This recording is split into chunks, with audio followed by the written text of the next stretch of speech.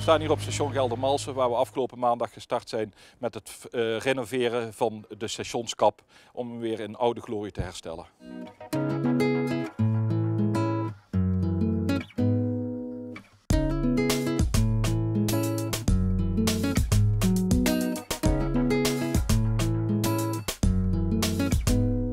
We starten met de sloop van de oude beplating die halen we weg. Daarna wordt nieuwe fundering aangebracht en daarna vindt uh, het schilderwerk plaats en nieuwe dakbedekking en daklaten worden aangebracht.